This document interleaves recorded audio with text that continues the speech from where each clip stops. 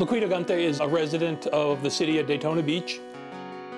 She was very smart, very smart, and very outgoing. There was a homeless gentleman by the nickname of Rooster.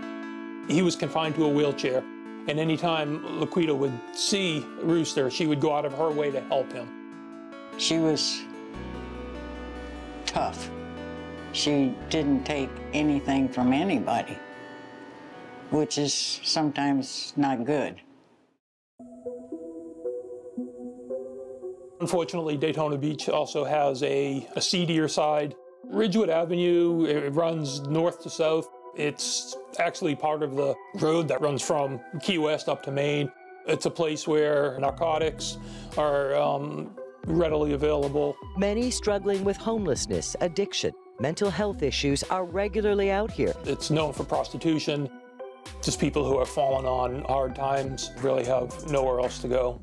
Laquita Gunther frequents that area around Ridgewood, Ridgewood, Madison Avenue. She did engage in prostitution from time to time.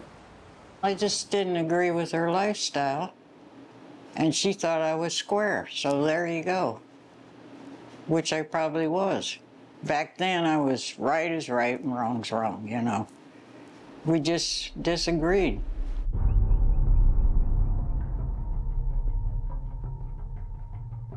There was a local bar called Chubby's in the 600 block of North Beach Street, and she was well known at Chubby's. Laquita has a conversation with her friend Stacy Dittmer. They were discussing getting together to start preparing Christmas dinner, and uh, Laquita told her that uh, she would do that, um, but first she wanted to go to Chubby's.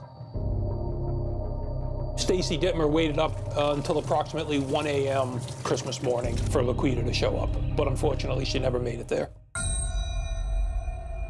December 26th, 2005.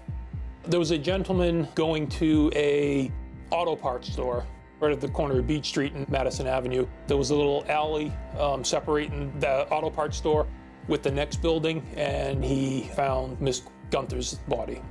Laquita Gunther was found naked, shot in the head in a narrow alleyway off Ridgewood Avenue, not far from her haunts. She was found on her knees, face down. She was naked uh, except for she was wearing a pair of socks. Male sperm was found inside of her mouth. Uh, she had what appeared to be a gunshot wound to the back of her head. It didn't matter what she did in her life. She was a human being, and you had no right taking her life. Who gave you to make yourself God? It's not something you believe.